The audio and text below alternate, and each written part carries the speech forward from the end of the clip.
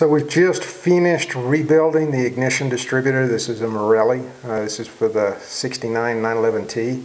Marelli distributors are actually one of the best ignition distributors to use on the T engines just because of their range of advance. Uh, although they've got a bad name because of availability of parts for some of these things. So I'm going to go ahead and install it into our engine. We already have the engine on TDC number one.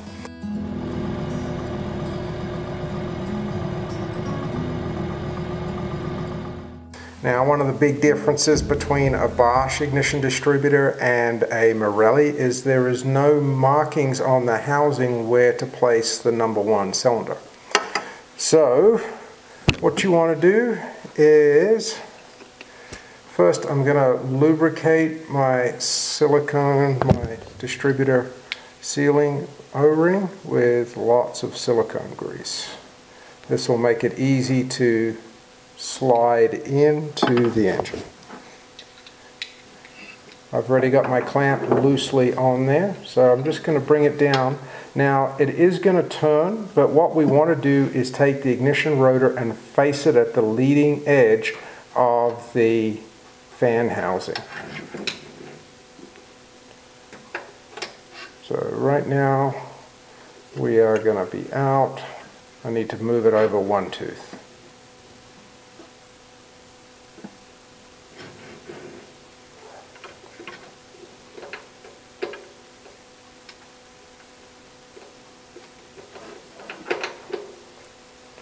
There we have it. So it's facing roughly at the front of the fan housing Our number one post is going to be right here and our wire is going to be right here. So I ended up pulling the distributor out one more time, um, only because on this particular one, the way the gear has been indexed when they drilled the hole, when I had it pointing directly at the fan housing, my cap clip, if I can rotate the distributor, was going to be so hard up against the housing it, there's no way I would have got the distributor cap on. So all I did was I moved the rotor over one tooth. This has allowed me to rotate the distributor housing. Now I can access my cap and get, thing, get the clip on a whole lot easier. So now I've got the distributor in, I'm just going to go ahead and install my wave washer and the retaining washer for the hold down clamp. So now all I'm going to do is just tighten that nut down. So before I lock down the distributor, I'm on TDC. I'm going to go ahead and set my static timing. This is going to make it easier when I go ahead and start it. So this is a clockwise rotating ignition distributor. If you see I can turn the rotor clockwise. So what I've done is I've just rotated the housing all the way back until the points are closed. Now I want to rotate it in the direction of rotation until I see the points open. Once the points have opened up, which they have right there, if I twist my rotor in the advance direction, you can see that they're closing again. And the last thing I need to do is go ahead and install my distributor cap.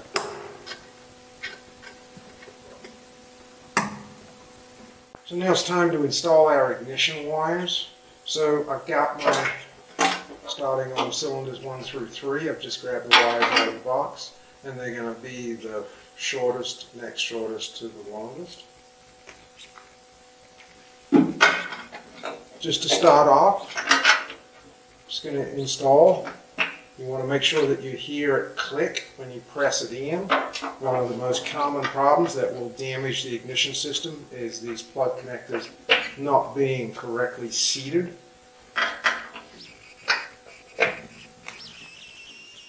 So I've got all three clicked on. Next thing I'm going to do is I'm going to take my wire holder and I've already pulled all of the boots off the end of the spark plug wire and I'm just, this is going to mount right in here, so I'm going to feed through each ignition wire through this holder.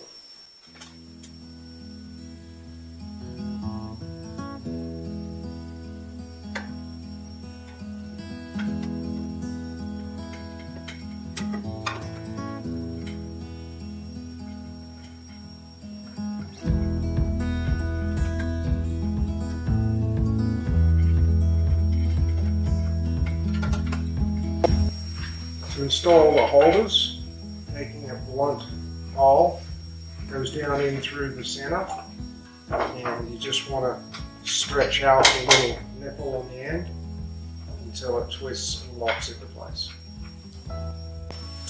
So I'm going to install my boots back on. I'm using a little bit of ignition grease. This is basically just silicone grease just to help the boots slide over everything nice and easy so I don't have to apply it. Do not want to use too much of this stuff.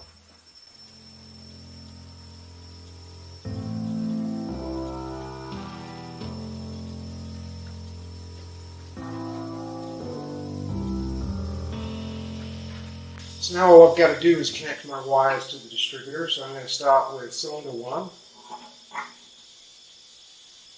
That in. And then this would be six, so the next one is going to be cylinder two right here.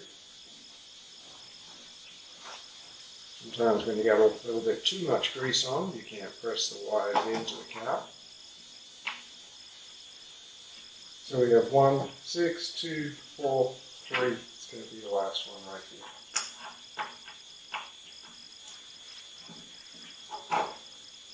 You want to make sure that those wires are pressed all the way down and then the boots are pressed all the way on. Then all I'm going to do is just adjust my lengths here to make sure that everything lays out nice. And we'll probably go ahead and install a loom holder to hold these two wires down to the cylinder heads. So the same thing on this side, I've just lined out my cables by length starting with my shortest one onto cylinder number four. On these ones, they're going to feed through the intake manifolds on the carbureted cars.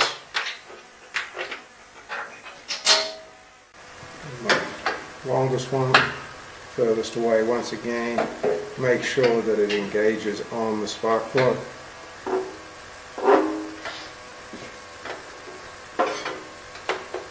Four and five are going to come through the same opening in the intake manifold. Cylinder six is going to come through on the furthest opening. Then we've got holes in my fan shroud here and here. So we're going to be using wire holders, same, same as the bit on the other side, and that's going to hold our wires as it comes up and over the different housing.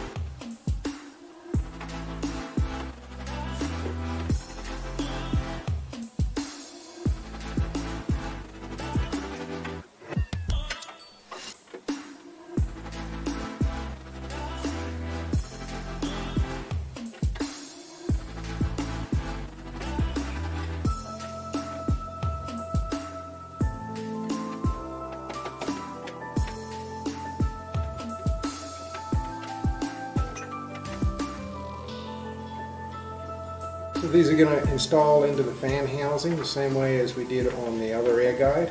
So just going to line that piece up, push it in to get it started, push our blunt awl down. What this does is stretch out that nipple and allows it to pop through. If you try and just push them through or force them through or lubricate them, they'll tend to want to pop out.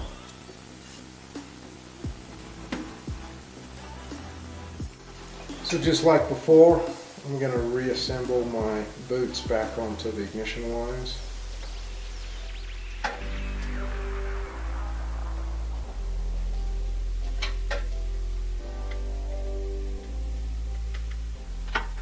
Then the next thing I'm going to do is plug them in.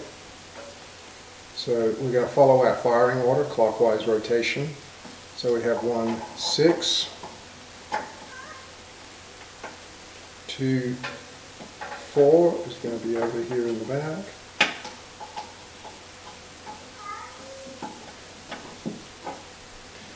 And cylinder five is going to be the last one.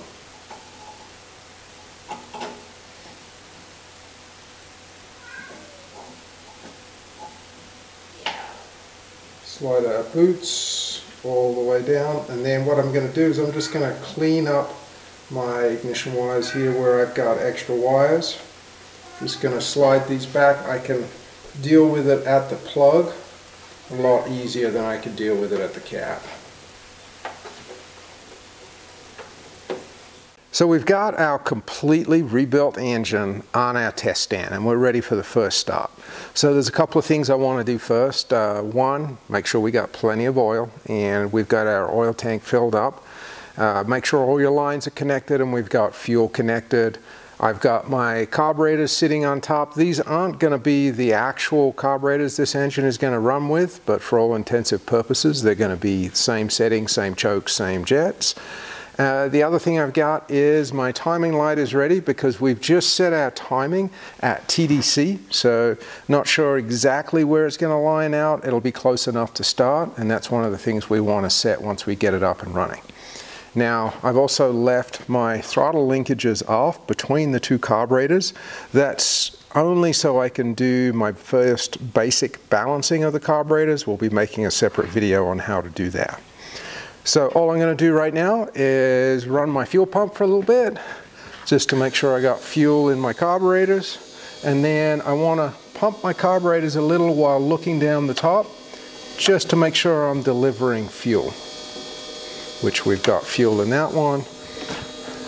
I'm going to do the same on this one just like that. Then I'm ready to crank it turn my ignition to on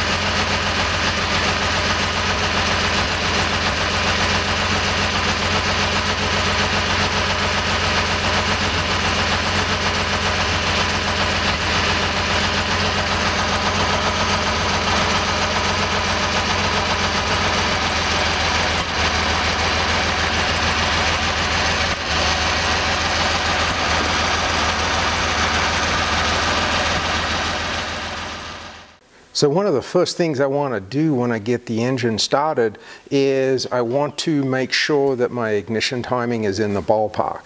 Now I haven't set the timing correctly. We need to rev the engine to 6,000 to be able to do that and that's a little difficult without the throttle linkages all hooked up.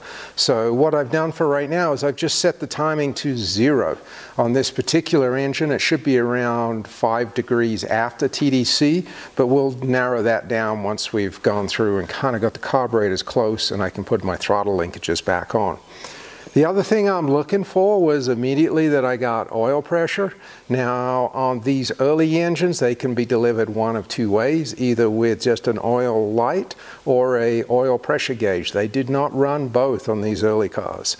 This one has an oil pressure gauge installed, so I was looking at my oil pressure gauge at the back on my engine stand to make sure that I had oil pressure. The other thing that I'm looking for on the first startup is to make sure that my generator light or my alternator charge light goes out, just to make sure that it is working correctly.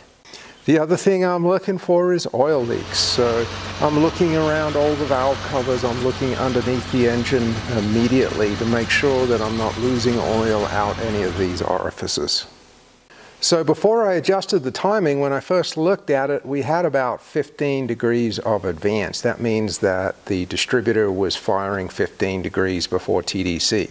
So what I did first was I increased my idle speed on my carburetors uh, just to account for the fact that I was about to retard the timing, which was going to lower my idle speed. And since I didn't want the engine to drop I, or to stall, I increased that idle speed.